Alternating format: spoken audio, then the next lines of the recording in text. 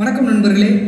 இன்றைக்கி நம்ம இந்த வீடியோவில் ரெஸ்பான்சிவ் வெப் டிசைனிங் அப்படிங்கிறத பற்றி தான் பார்க்க போகிறோம் ரெஸ்பான்சிவ் வெப் டிசைன் அப்படிங்கிறது என்னென்னா இப்போ நான் என்னுடைய என்னுடைய சிஸ்டமில் டிசைன் பண்ண எந்த வெப்சைட்டை நான் எப்படி வெவ்வேறு டிவைஸில் பார்க்குறது உங்களுடைய மொபைலில் நீங்கள் எப்படி அதை வியூ பண்ணி பார்க்குறது அப்படிங்கிறத பற்றி தான் நம்ம இன்றைக்கி பார்க்க போகிறோம் ஸோ அதுக்கு நம்ம என்ன பண்ண போகிறோம்னா அந்த மொபைலுக்கு வியூவபுளாக இருக்கக்கூடிய தகுந்த மாதிரி நம்மளுடைய கண்டென்ட்டை மாற்ற போகிறோம் ஓகேங்களா ஸோ அதுக்கு நான் என்ன பண்ணுறேன்னா இங்கே வந்து இதோட மெனுவில் என்ன பண்ணுறேன்னா இதோட செட்டிங்ஸ் போகிறேன் செட்டிங்ஸ் போயிட்டு மோர் டூல்ஸ் அப்படின்னு ஒரு ஆப்ஷன் இருக்குது அதில் வந்து கீழே வந்தீங்கன்னா டெவலப்பர் டூல்ஸ் அப்படின்னு ஒன்று இருக்கும். அப்படி இல்லைன்னா அதுக்கான ஷார்ட்கட் அவங்களே போட்டிருப்பாங்க. கண்ட்ரோல் ஷிஃப்ட் ஐ அப்படிங்கிறத.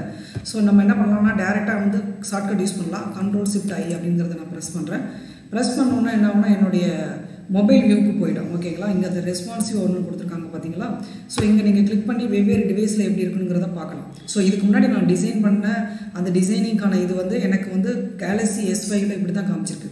ஸோ நான் என்னென்னா ரெஸ்பான்சிவ் மோடை இங்கே செலக்ட் பண்ணிக்கிறேன் செலக்ட் பண்ணோன்னா இந்த இடத்துக்கு என்ன காமிக்கும்னா அதோட width and height available height என்ன அவைலபிள் வித் என்ன அப்படிங்கிறத காமிக்கும். ஓகேங்களா? ஸோ இந்த இடத்துல நீங்கள் என்ன பண்ணிக்கலாம்னா அப்படி வரலைன்னா இந்த இடத்துல டாகல் டிவைஸ்ன்னு இருக்கும். இதை இந்த இடத்த ஏரியாவை நீங்கள் கிளிக் பண்ணி என்ன பண்ணிக்கலாம் கொண்டு வந்துக்கலாம். ஸோ இப்போ நம்ம என்ன பண்ண போகிறோம்னா பார்த்தீங்கன்னா இப்போ நமக்கு இந்த வியூவிலே வந்து ஹெடர் இவ்வளோ தான் இருக்குது இது இருந்தால் நான் பெஸ்ட் அப்படிங்கிற மாதிரி நான் எனக்கு தோணுது. ஸோ அதனால் இந்த ஏரியாவை நான் டச் பண்ணல இப்படியே விட்டுறேன்.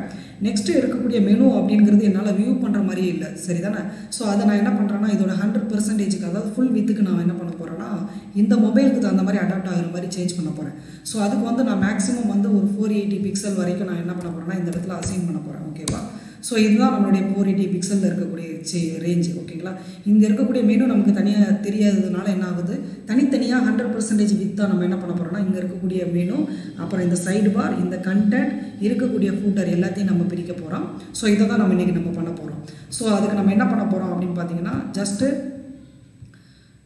ரெண்டே ரெண்டு விஷயம் மட்டும் பண்ண போகிறோம் ஒன்று என்னென்னா ஹெட் அப்படிங்கிற ஏரியாவில் மெட்டா டேக் ஆட் பண்ண போகிறோம் அதாவது ரெஸ்பான்சிவ் வெப் டிசைனுக்கு தேவையான இன்ஃபர்மேஷனை நம்ம என்ன பண்ண போகிறோம்னா மெட்டாடேக்கில் கொடுக்க போகிறோம் அதில் வந்து என்னென்னா நேம் வந்து வி போர்ட் வி போர்ட்டுங்கிறது வேறு டிவைஸில் நம்ம பார்க்கக்கூடியதுக்கான ஆட்ரிபோர்ட் அடுத்து வந்து கண்டென்ட் என்னுடைய கண்டென்ட் வந்து அந்த டிவைஸுக்கு தகுந்த மாதிரி சேஞ்ச் ஆகிக்கோ வித் டிவைஸ் வித் அப்படின்னு கொடுத்துக்கோ அப்படின்னு சொல்கிறோம் நெக்ஸ்ட் இனிஷியல் ஸ்கேல் இனிஷியல் ஸ்கேலுங்கிறது என்னுடைய ப்ரௌசர் வந்து ஆரம்பத்தில் லோட் ஆகும்போது அந்த ப்ரௌசருக்கு தகுந்த மாதிரி அடாப்ட் ஆகுறதுக்காக நான் கொடுக்கக்கூடிய ஒரு ஆட்ரிபியூட் ஓகேங்களா இனிஷியல் ஸ்கேல் ஒன்று அப்படின்னு நம்ம செட் பண்ணுறோம் தென் மீடியா கொரி இந்த மீடியா கொரியில் தான் நான் வந்து என்ன பண்ண போகிறோன்னா அதர் டிவைசஸ்க்கு தேவையான சிஎஸ்எஸ் கண்டென்ட்ஸ் எல்லாம் இந்த ஏரியாவில் நான் வந்து யூஸ் பண்ண போகிறேன் ஸோ இதை இந்த ரெண்டை தான் நம்ம பண்ண போகிறோம் ஃபஸ்ட் என்ன பண்ண போகிறோம் அப்படின்னு பார்த்தீங்கன்னா இந்த மெட்டா டேக்கை நம்ம வந்து என்ன பண்ண போகிறோம்னா ஜஸ்ட் என்னுடைய நம்மளுடைய ஹெச்டிஎம்எல் கோடில் இருக்கக்கூடிய ஹெட் அப்படிங்கிற ஏரியாவுக்கு உள்ளே நம்ம என்ன பண்ண போகிறோம்னா ஜஸ்ட் காப்பி பண்ணி பேஸ்ட் பண்ண போகிறோம் இதை நான் பேஸ்ட் பண்ணுறேன் ஓகேங்களா நெக்ஸ்ட் என்ன பண்ண போகிறோம் அப்படின்னா ஸ்டைல் யூஸ் பண்ண போகிறோம் ஸோ இங்கே என்ன பண்ண போகிறோம்னா ஜஸ்ட்டு ஸ்டைல் ஓப்பன் பண்ணி க்ளோஸ் பண்ணியிருக்கோம்ல இதை நம்ம அப்படியே காப்பி பண்ணிக்கலாம். காப்பி பண்ணி இங்கே வந்து என்ன பண்ணிக்கலாம் பேஸ்ட் பண்ணிக்கலாம். நான் ஹெட் அப்படிங்கிற ஏரியாவுக்குள்ள நான் வந்து என்ன பண்ணுறேன்னா பேஸ்ட் பண்ணுறேன் பேஸ்ட் பண்ணியாச்சு. ஓகேங்களா இப்போ நம்மளுடைய சிஎஸ்எஸ் கோடிங்கெல்லாம் போய் பார்ப்போம். நம்ம எதை எதெல்லாம் சேஞ்ச் பண்ண போகிறோம்னா இந்த மெனுக்கு உள்ளே இருக்கக்கூடிய எல்லா டிவிஷன் இவங்களை நம்ம வித் ஹண்ட்ரட் பர்சன்டேஜ் மாற்ற போகிறோம் ஸோ மெனுக்கு உள்ளே இருக்கக்கூடிய எல்லா டிவிஷன்னா இவங்க தான் நம்மளுடைய மெனுக்கு உள்ளே இருக்கக்கூடிய எல்லா டிவிஷனும் தென் இந்த கிளாஸ் ஃபைல் அதே மாதிரி இந்த கிளாஸ் ஃபைல் அப்படிங்கிற பார்க்க போகிறோம் இந்த கிளாஸ் ஃபைலில் இருக்கக்கூடிய எல்லா டிவைசஸையும் பார்க்க போகிறோம் அதாவது இந்த கிளாஸ் ஃபைலில் ரெண்டு பாக்ஸ் இருக்குது ஓகேங்களா இந்த கண்டென்ட் ஒன்று அதே மாதிரி இங்கே சாரி இங்கே டைட்டில் இந்த கண்டென்ட் ஓகேங்களா ஸோ இது வந்து நமக்கு என்ன இதுக்கு என்ன கிளாஸ் கொடுத்துருந்தோம் அப்படின்னு பார்த்தீங்கன்னா இதுக்கு முன்னாடி எம் ஒன்று கொடுத்துருந்தோம் இது எம் டூ அப்படின்னு நம்ம அசைன் பண்ணியிருந்தோம் பழைய வீடியோவில் ஸோ இப்போ கூட ஒரு தடவை நான் ஓப்பன் பண்ணி காமிச்சிடுறேன். ஸோ இங்கே கஸ்டியமரில் போகிறோம் ஸோ அதுக்கான கிளாஸ் ஃபைல் என்ன நம்ம யூஸ் பண்ணியிருந்தோம் பார்த்தீங்கன்னா மெயினுக்குள்ளே எம் ஒன்னுங்கிற ஒரு கிளாஸ் யூஸ் பண்ணியிருந்தோம்.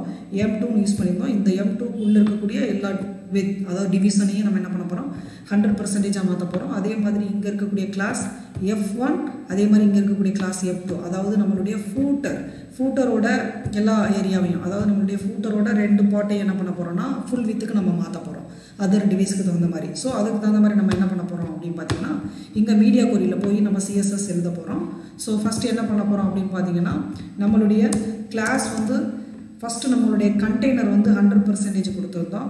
இல்லை ஹண்ட்ரட் பர்சன்டேஜ் கொடுக்கவில்லை.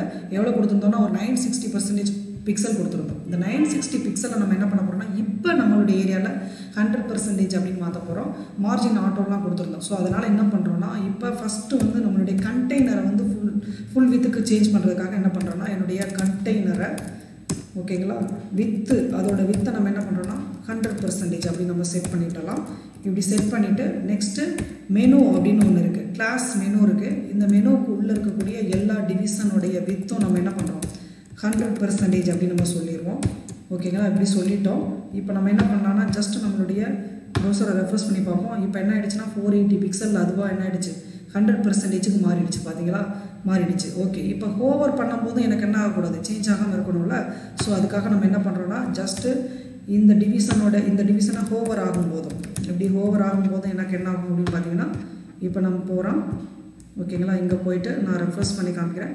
ஸோ இப்போ பாருங்கள் இப்போ ஹோவர் பண்ணும்போதும் சேஞ்ச் ஆகாமல் இருக்குது அதாவது என்ன பண்ணிட்டோம்? மெனு வந்து அதுக்கு தகுந்த மாதிரி நம்ம வந்து மாற்றிக்கிட்டோம் ஓகேங்களா ஸோ இதை வந்து நம்ம என்ன பண்ணிட்டோம்? ஹண்ட்ரட் பர்சன்டேஜுக்கு கொடுத்துட்டோம். தென் இந்த ரெண்டு ஏரியாவையும் நம்ம ஹண்ட்ரட் பர்சன்டேஜ் சொல்ல போகிறோம் ஸோ என்ன பண்ண போகிறோம் அப்படின்னு பார்த்தீங்கன்னா ஜஸ்ட்டு இங்கே வந்து டாட் எம் ஒன் அப்படிங்கிற ஒரு கிளாஸ் இருக்குது அதோட வித்து வந்து நம்ம என்ன பண்ண போகிறோம்னா ஹண்ட்ரட் பர்சன்டேஜ் அப்படின்னு நம்ம செட் பண்ண போகிறோம் தென் இன்னொரு கிளாஸ் இருக்குது டாட் எம் டூ அப்படின்னு ஒரு கிளாஸ் இருக்குது அவங்களுடைய வித்தையும் நம்ம என்ன பண்ண போகிறோம்னா ஹண்ட்ரட் பர்சன்டேஜ் அப்படின்னு நம்ம செட் பண்ண போகிறோம் ஓகேங்களா இந்த ரெண்டு கிளாஸுமே நம்ம இதுக்கு முன்னாடி லேஅவுட்டில் டிசைன் பண்ணால் தான் அதே மாதிரி அந்த எம் டூக்கு உள்ளே இருக்கக்கூடிய எல்லா டிவிஷனும் அப்படி தான் நம்ம சிஎஸ்எஸும் எழுதியிருக்கோம். எப்படி எழுதியிருக்கோம்னா மெனுவுக்குள்ளே இருக்கக்கூடிய எல்லா டிவிஷனும் சொல்லியிருக்கோம். அதே மாதிரி இண்டிவிஜுவலாக எம் ஒன் கொடுத்துருந்தா எம் டூ கொடுத்துருந்தா எம் டூக்குள்ளே இருக்கக்கூடிய எல்லா டிவிஷன் அப்படின்னு சொல்லியிருந்தோம் கரெக்ட் தானே? ஸோ சிம்பிளாக நம்ம என்ன பண்ண போகிறோம்னா அதை தான் நான் இங்கே சொல்ல போகிறேன் ஸோ எம் டூக்கு உள்ளே இருக்கக்கூடிய எல்லா டிவிஷனுடைய வித்தும் எனக்கு என்ன பண்ண போகிறோம் ஹண்ட்ரட் பர்சன்டேஜ் அப்படின்னு நம்ம செட் பண்ண போகிறோம் ஓகேங்களா ஸோ ஏன் இதை இண்டிவிஜுவலாக கொடுக்குறேன்னா அந்தந்த ஏரியாவுக்கு தேவையான சிஎஸ்எஸ்ஸை நம்ம என்ன பண்ணிக்கலாம்? அங்கே வந்து அப்ளை பண்ணிக்கலாம். ஸோ இப்போ நம்ம என்ன பண்ணுறோம்னா ஜஸ்ட் ரெஃப்ரெஸ் பண்ணுவோம். ஸோ ரெஃப்ரெஷ் பண்ணோன்னா என்னாச்சுன்னா எம் ஒன் அப்படிங்கிறது ஹண்ட்ரட் பர்சன்டேஜ் மாறிடுச்சு. எம் டூ அப்படிங்கிறதும் எம் டூக்குள்ளே இருக்கக்கூடிய இந்த ரெண்டு பார்ட் எனக்கு என்ன ஆச்சுன்னா ஹண்ட்ரட் பர்சன்டேஜ் மாறிடுச்சு. ஐ மீன் இந்த இந்த டிவைஸுக்கு தகுந்த மாதிரி என்ன ஆயிடுச்சுன்னா சேஞ்ச் ஆகிடுச்சு இன்னும் நமக்கு இதை அப்படியே நீங்கள் யூஸ் பண்ணுறதுனாலும் யூஸ் பண்ணிக்கலாம். இல்லை இது எனக்கு தனித்தனி பாட்டாக வேணும் ஹண்ட்ரட் பர்சன்டேஜில் வேணும் அந்த டிவைஸ் ஃபுல் வித்துக்கும் வேணும் அப்படின்னு நீங்கள் சேஞ்ச் பண்ணீங்கன்னா என்ன பண்ணிக்கலாம்? இதோட கிளாஸ் என்னென்னு பார்த்துட்டு அந்த கிளாஸையும் நம்ம என்ன பண்ணிடலாம்? ஹண்ட்ரட் பர்சன்டேஜ்னு சொல்லிடலாம். ஸோ இதோட கிளாஸ் நம்ம என்னென்ன use பண்ணியிருக்கோம்னா I think F one F two அப்படின்னு யூஸ் பண்ணோம் S F one and F two அப்படின்னு நம்ம யூஸ் பண்ணோம் அந்த எஃப் ஒன் எஃப் டூ நம்ம இங்கே சொன்னால் போதும். ஓகேங்களா டாட் எஃப் ஒன் அப்படிங்கிறது யூஸ் பண்ணோம். அதோட வித்து என்ன பண்ணுறோம் ஹண்ட்ரட் பர்சன்டேஜ் அப்படின்னு சொல்கிறோம் அதே மாதிரி டாட் எஃப் டூ அப்படின்னு சொல்கிறோம் இவங்களுடைய வித்தையும் நம்ம என்ன பண்ணுறோம் ஹண்ட்ரட் பர்சன்டேஜ்னு சொல்கிறோம் ஜஸ்ட் இப்போ நம்ம போய் ரெஃப்ரெஷ் பண்ணி பார்ப்போம்.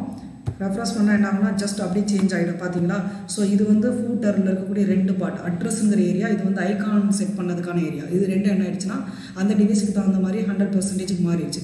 இப்போ ஜஸ்ட்டு ஃபோர் எயிட்டி நான் கிராஸ் பண்ணேன்னா அதிகமாகிடுச்சு இங்கே வந்து ஃபைவ் நைன்ட்டி டூ அப்போ ஃபைவ் நைன்ட்டி டூங்கிறது நான் சொன்ன மீடியா கொரியில் இருக்கக்கூடிய அவைலபிள் வித்தை விட அதிகமாக இருக்குது அதிகமாக இருக்கும்போது இதுதான் என்னுடைய ஒரிஜினல் கண்டென்ட் இப்போ எனக்கு ஃபோர் எயிட்டிக்கு உள்ளே வரும்போது என்ன ஆகும் அப்படின்னு பார்த்தீங்கன்னா ஜஸ்ட் என்ன ஆகும் இந்த மொபைல் அந்த மொபைல் வியூக்கு தகுந்த மாதிரி சேஞ்ச் ஆகிடும் ஸோ இங்கே நம்ம என்ன பண்ணிக்கலாம்?